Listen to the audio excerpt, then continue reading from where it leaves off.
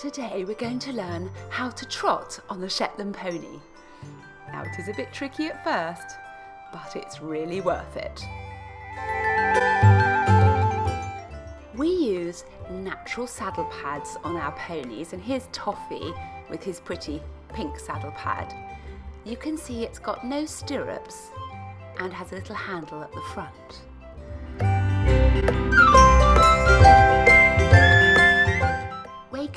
It's time to go trotting.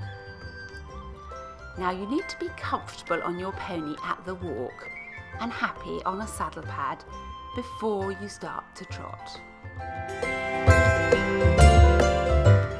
When you're happy to try, find a little quiet place that's slightly uphill and have a gentle start.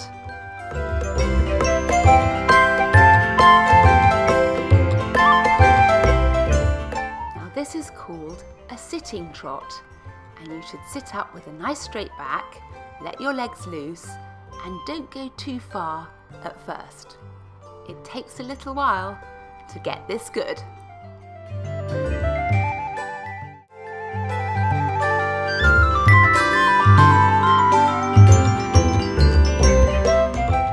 And when you're ready and good at a sitting trot, you can try a rising trot.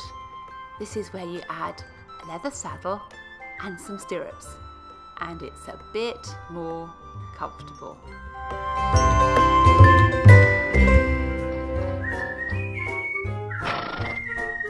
Thank you so much for following our ponies online.